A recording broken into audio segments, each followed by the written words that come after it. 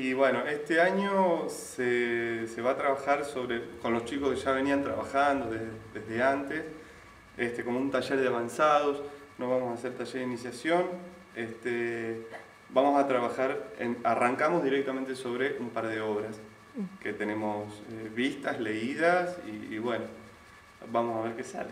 Ya es un grupo consolidado, bueno, se lo ha visto el año pasado en la actuación y seguramente eso facilita un poco el trabajo, ¿no? Claro, sí, obviamente. Este, ya se trabaja con gente que sabe de qué se trata.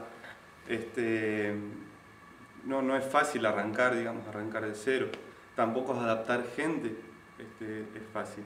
Este, en cambio ellos, bueno, ya hay muchos que tienen mucho, mucha trayectoria ya con el teatro, así que, este, bueno, entusiasmados con nuevos proyectos. Cuando hablamos de que no hay gente, en, digamos, en un taller inicial, es por una cuestión de que este grupo siguió, porque no hay gente por ahí que comience nueva este año. Exactamente, digamos, eh, se abrió un grupo este, de iniciantes, pero no hubo mucha convocatoria, no, no, no, no llegó mucha gente. Entonces se decidió directamente trabajar más fuertemente con, con la gente que ya viene desde hace años.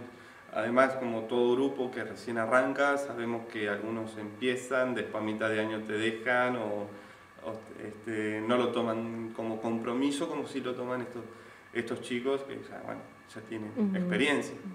¿Cuántas personas están integrando el taller y desde qué edades?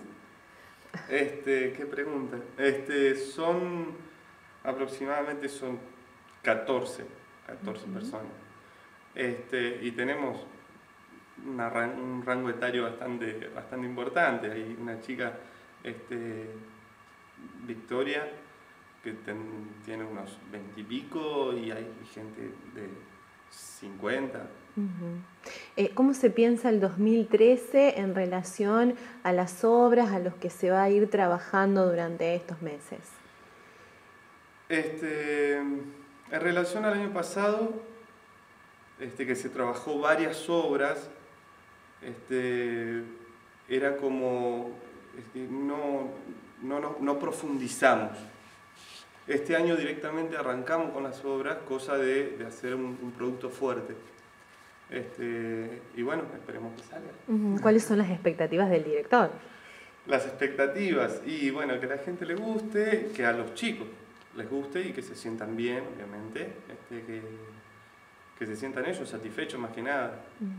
Eh, siempre en un taller de teatro se piensa en trabajar para presentar la obra, para que eh, tenga seguida y vuelta con el público o simplemente para consolidar el grupo, para poder conocerse un poco mejor. Este, yo creo que el grupo ya está consolidado. Entonces lo que se busca ahora es, eh, digamos, eso es justamente más a un grupo de iniciantes que si no sale una obra a fin de año, pero si formaste un grupo y si formaste gente, bienvenido. Pero me parece que este año es 100% eh, las, las obras finales. Cuando hablamos del perfil de un actor, ¿qué debe tener y, cómo uno se da cuenta que puede participar en una propuesta eh, bueno, de, de teatro? Este, un poco de actor tenemos todos este, eh, el tema es animarse, animarse a, jugar, a, jugar a ser otro, animarse a, bueno, enfrentarse a, todo el público que los viene a ver. Este, y como ya te dije, hay gente que tiene mucha experiencia y que ya tiene mucha cancha para, para esto. Así que bueno, esperamos lo mejor. ¿Qué géneros por ahí se van a ir preparando este año para presentar? Son dos comedias. Sí, son dos comedias. Este, una de un escritor santafesino eh, que se llama Altro que Love Story y otra de Sprecherbull que se llama eh, Acasus. Esas son las dos obras que se van a trabajar este año. ¿Hay una fecha estimativa que se puedan llegar a presentar? En octubre, eh, seguramente para la Feria del Libro, como se hace todos los años. Bien, ¿qué días está funcionando el taller y en qué horario?